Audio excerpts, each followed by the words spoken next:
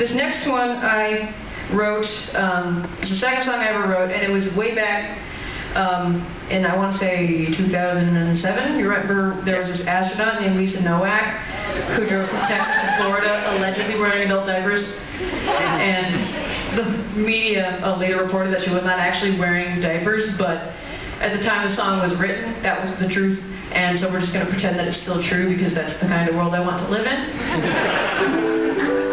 and I've never played it on Little Uke before. It's usually on my Big Uke, which is too big to bring on this boat. It would have sank it. So um, we'll try it. It's called Road Trip. Could I get like white, sort of twinkly space lights on this star wall? Word. I find it sort of fascinating. Woo!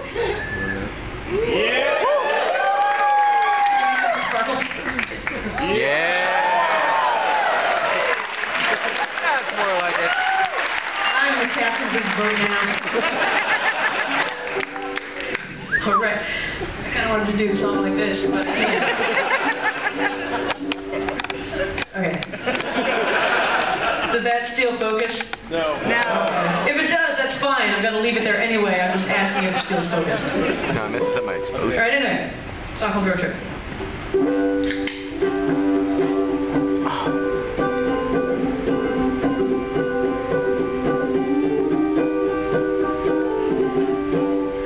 I thought he was my partner, less than lovers, but more than friends. He said it wouldn't last, but like the cosmos, I don't think it ends. They say he's going steady with some woman that I don't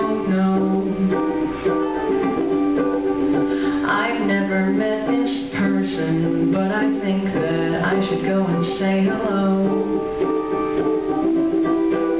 I will not let her take my place.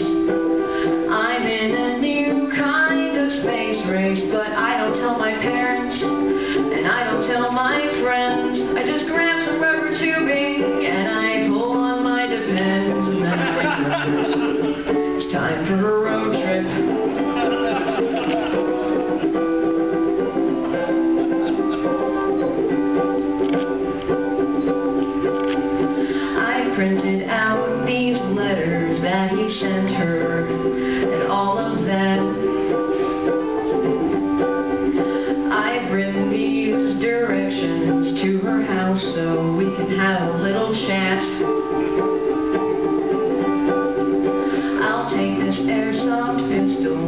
Should she make threats against my life. A wig and pepper spray and this 8-inch Gerber folding knife. I will not let my man pursue her.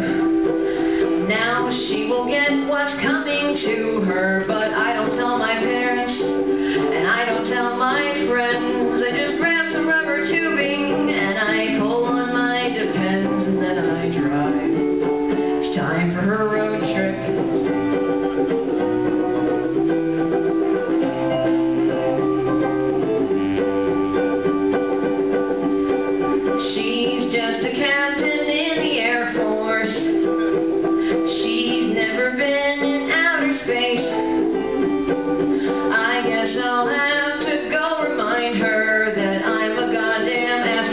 and she should know her place.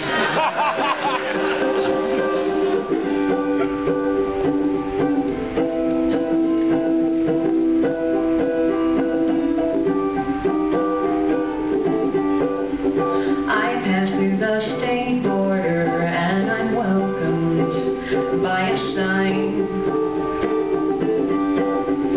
I can feel my heart pounding in my temples. Justice will be mine. She's nowhere near the airport, then I recognize her car.